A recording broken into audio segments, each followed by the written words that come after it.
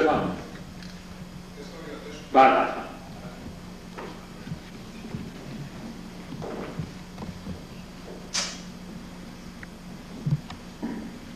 من می‌دونم که بعد.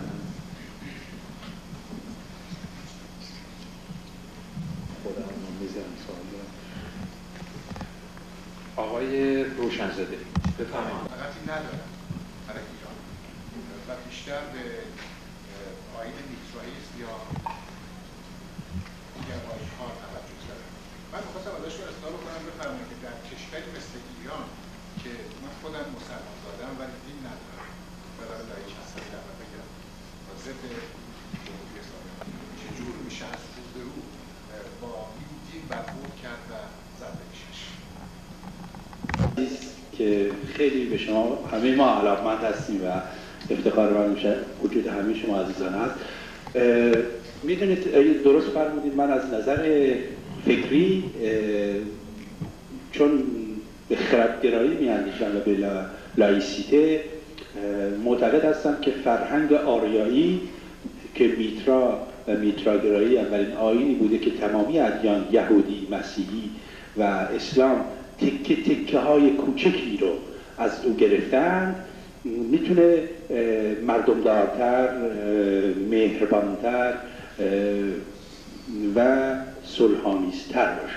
اما هدف من این نیست که در ایران یک جنگ مذهبی راه بندازیم. همچنان که کردم من با جنگ مذهبی که امروز می‌خوان راه بندازم بین شیعه و سنی در ایران و یهودی و مسلمان در لس آنجلس هم مخالفم. با من مخالفم یعنی ولی معتقدم و می‌دونم چون زمینه های فراوانی در داخل ایران وجود داره برخورد مکتب مهر و میترایی که حتی اون زرتشتی هم نیست یادمون نره زرتشتی هم نیست. می‌تونه تنها و قوی ترین سلاح ملت ایران باشه که در آستانه قرن 71 آریایی و قرن 21 میلادی بتونه سر بلند زندگی کنه در جهان امروز. تجربه کردیم ما دو سال تا به اکنون تقویم 7018 17 و 18 که سال 19 آریایی رو منتشر کردیم. این تقویم جناب روشنزاده در ایران جمهوری اسلامی من میگم چون رود یکی از شجاعت های ما این باید باشه همچنان که شجاع و گستاخ هستیم که جانمان را در برابر گلوله می‌بریم که اگر دشمن هم ضعف هایی داره و یا کرنش هایی می‌کنه اعلام کنیم. این تقویم امروز در تمامی ایران تو جیبا میره و رژیم یکی دو بار برخورد کرده بعدا آزاده. یعنی نتونسته جلوشو بگیره. چون این رو نوشتیم من اعلام می‌کنم. استاد ایرج ملکپور. ایشون شخصیت علمی بزرگ ایران هستن که تمامی تقویماتی که توی جیب ماها هست ایشون, ایشون استخراج کردن. ایشون چندی پیش محبت کرده بودن برای من یک جزوه فرستاده بودن و بعد تلفنی که صحبت گفتن چون تا سال 5000 یعنی همین تقویم 7000 ساله رو کامپیوتریزه کردن چون می‌دونید باید تو کامپیوتر که ما اگر می‌خوایم ببینیم یک اتفاقی در 4000 سال پیش افتاده در رابطه با تقویم خودمون که 7000 سال آریایی است کی بوده؟ ایشون این کارو کردن. به عنوان بزرگترین کسی که در ایران تقویم رو در میاره. یعنی وقتی تا این حد این مسئله رشد پیدا می‌کنه در داخل ایران که حتی بارها و بارها شما اگر در نظر داشته باشید سابقه بر این می‌گفتن تا صحبت می‌شد می‌گفتن ما ملتی هستیم با سه هزار سال. سابقه تاریخی. امروز از هر طیف سیاسی چون اسناد رو ارائه شده و بزرگانی گفتند که ما همه شاگردان آنها بودیم همه پذیرفتن تاریخ هزار ساله رو تاریخ آریایی و تاریخ میترایی رو. من فکر می‌کنم که هرگز کوچکترین درگیری ما نخواهیم داشت. به اون حد جز این که استعمار تلاش خواهد کرد. چون یکی از شما ببینید بعد از کوروش آریامنش دکتر محمد آسینی کشته شد در تاجیکستان. و بعد مسائل دیگه من یه بار نوشتم اعلام کردم که اگر ما از آریا و آریایی سخن می‌گوییم به میهن خودمون مربوط میشه. ما در اون چیزای شومینیستی وجود نداریم ما برعکس با همه می‌سازیم که مسالمت آمیز زندگی بکنیم. هر کسی آزاد باشه در عقیده و اندیشه خودش. این کنگره ما می‌خواستیم این سال در تاجیکستان تشکیل بدیم که آریامنش من و پروفسور سیف الدین محمد آسیمی رئیس آکادمی تاجیکستان برنامه‌ریزی کرده بودیم. کنار یکی زدن دو تاشون که نقش مهم و مؤثری داشت که در تاجیکستان در پاریس کشته شد. یعنی استعمار نمی‌خواد به ما تاریخ بیش از تاریخ خودش 2000 سال است مال تاریخ مسیحی است مال شرقه. چون مسیح هم از شرق اومده که.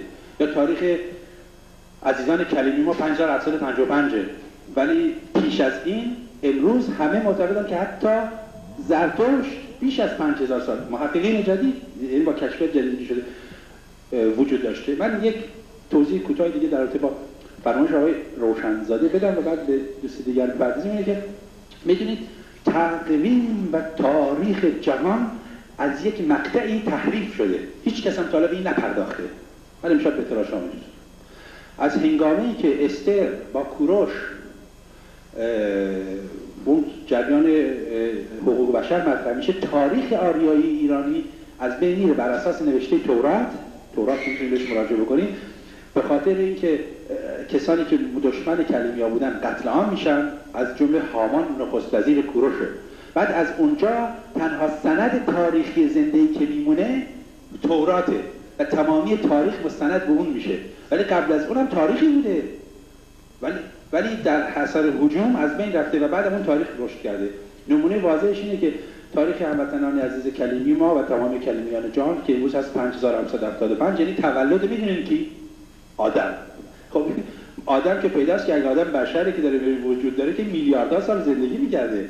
ولی همون آدمی که ریشه اولیه ادیان ابراهیمی است. خب از همین آدم اگه بپرسین آقا آدم چطور شد به صحرای سینا تبعید شد؟ می‌گویند که از باغ عدن تبعید شد. از فردوس. کلمه فردوس از ایرانی به تورات هم رفته وجود داره. خب فردوس می‌دونین کجا بوده؟ ایران بوده. این افسانه افسانه‌ای که من نوشتم جزوه بسیار کوچک نمایشنامه است همینو میگه. یعنی آدم و هوا آدم یه عنصر بوده که از ایران تبعید میشه. از ایران که امروز گریشمن خود امریکایی ها همه معتقدن که ایران 7000 سال تاریخ داره. وقتی که دکتر کوروش یا منش ترور شد یک نکته دیگه هم می‌دونیم برای بعد از 25 سال این واشنگتن نه نیویورک تایمز بود نیویورک تایمز. یک خبری که باید 25 سال پیش می‌داد اون موقع داد. و بعدم خبر رو برای من فاکس کردن تو پاریس. چون یادتونه چه جنجالی راه انداختیم به خاطر ترور نازنین. که گفتن در ایران خمره هایی کشف شده که نشون میده ایران از 7000 سال پیش شراب می‌زده یادتونه همه. خب این حالا بریم تحقیق کنیم ببینید آقا خبری که نیویورک تایمز یه هفته بعد ترور آریامنش پخش کرد کی بوده؟ مال که مال 25 سال پیش بوده.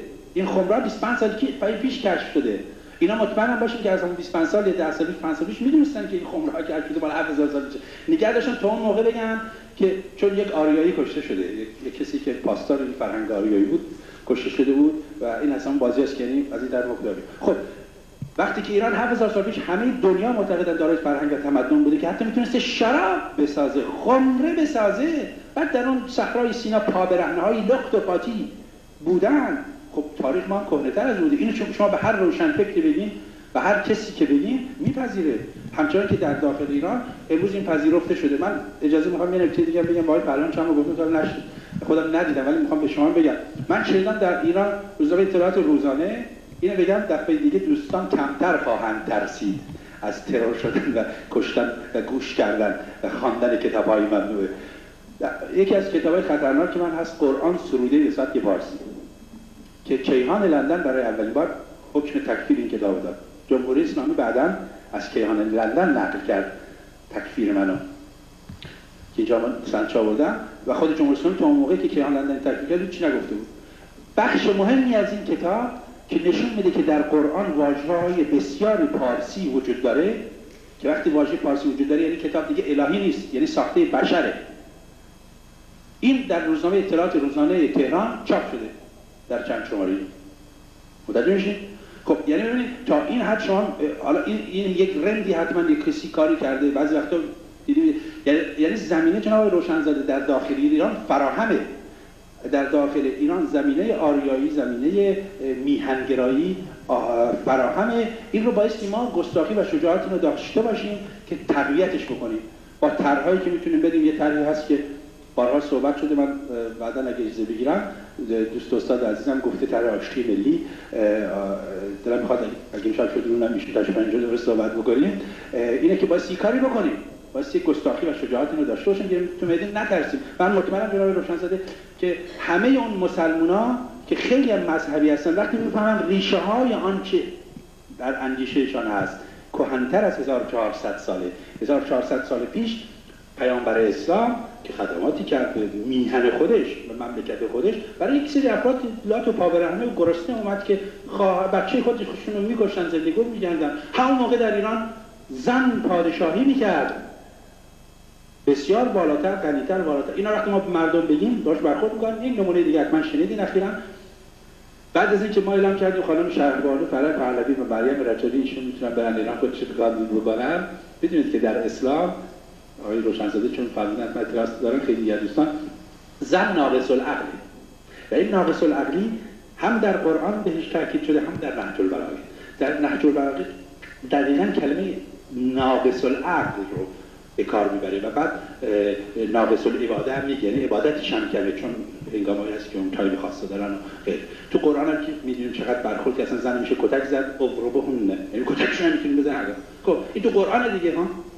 آقا در نظام جمهوری اسلامی رهبر جمهوری اسلامی سه هفته پیش زنا رفته بودن دیدنش گفت اینی که میگن زنا ناقص العقل مزخرفه زن ناقص العقل نیست و در خیلی از مراحل زن عقلش از مردم بالاتره.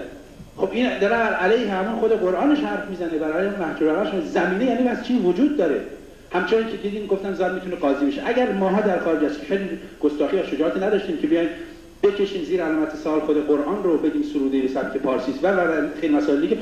اونم می‌گفت چون می‌دونید که ملاها یکی از شگردهاشون همیشه اینه که ملا دنبال عوام راه میفته مثل روشن فکر نیست که جلو بره بخواد بقیه با خودش ببره. ملا همیشه دنبال روشن دنبال دنبال مردم میره. آیت الله ها می‌دونن که همشون تا قبل از اینکه آیت الله بشن انقلابی ضد آخوند همین خویی گرفته تا خمینی تا همه اینا. ما اول که تو ایران نشریمون در میومد اوایل انقلاب او بالا همیشه تیتری از خمینی می‌نوشتیم. چون پشت رو به آخوندا تو تاریخ زیاد بود که پشت داد به آخوندا روحانیت. از خودش می‌گرفتیم به خودش می‌دادیم.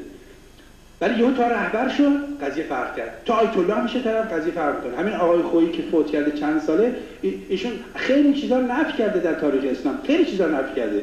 ولی تا رهبر میشه دیگه دنبال عوام میره چون عوام خیلی عضو می‌خوام. اونا میگن عوام خره اینا باید همونطور خیلی عضو می‌خوام خیلی عضو می‌خوام سوال مردم بشن و همون این حرفی بزنی که مردم کوشش کنن. اگر ما تو گستاخی و شجاعتی داشته باشیم بیاد چون تو مایه بزنی و اینکه حرفای تو تاریخ می‌زنن خود تو خود قرآن آیه قرآن میگه که آقا به محمد میگن که یک اعجمی یعنی یک ایرانی اینا رو یاد داده. بعد ما میریم واژه اعجمی هم که توش هست این ایرانی رو در میاریم. میگیم آقا اینم این همه واژه ایرانی توشه. و و و. خب اینا نمی‌تونن در برابر این می‌خوان چی بیان؟ چی بیان بگن؟ اگر یه نویسنده در انگلیس اومده یک کتابی نوشته با حالت نمایشنامه نمی‌دونم یا فیلمنامه توهین‌آمیز بود قضیهش فرق می‌کنه. با این کار تحقیقی شروع می‌کنی؟ رفرانس هم پایینش میاری نمی‌تونن با برخورد بکنن بعد تازه رفرانس از خود علمای تاریخی است علمای اسلامی تاریخ تو, تو تاریخ وجود داشته. ما نقد کردیم. من معتقدم که اگر دست به دست هم بدیم یک همبستگی ملی بیافریم گستاخی و شجاعت این داشته باشیم که بیایم توی میدون می‌تونیم برای تاریخ رو عوض بکنیم. همیشه هم ایرانی این کارو کردن. در طول تاریخ ایرانیا این کارو کردن این بار هم امیدوارم که یک همبستگی این کار میشه شده نیست.